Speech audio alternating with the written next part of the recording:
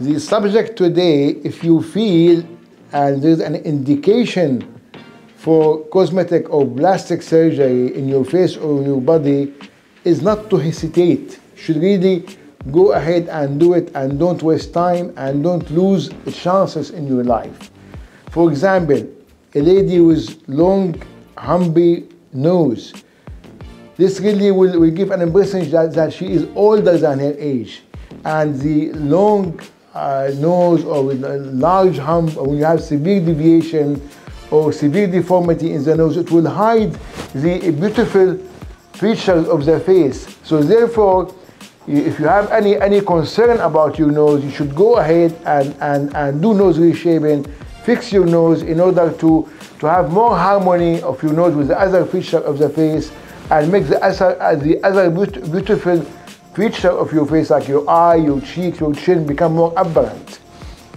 Again, if you have a buffy eyes, fullness around your eyes, uh, eye bags, or you have redundant skin around your eye, you should go ahead and do it because when you have this this this, this problem, you always be looking older, you'll be looking tired, you'll be looking angry or depressed. Therefore, doing blepharoplasty and removal of the fullness and the eye bag will give you much more fresher and much more younger look. Again, if you are over 40, over 45, over 50, and you start to have redundant and laxity of the skin of your cheek, the jawline sagging in the, uh, the jawline, and you have redundant skin in the neck, or you have double chin, you should go ahead and do it and fix it as early as possible in order not, not to lose chances in your life.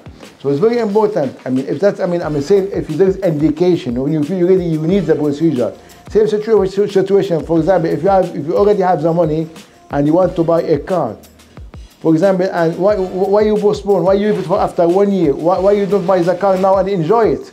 The same situation apply for your cosmetic surgery. If you if you feel you need the surgery, go ahead and do it.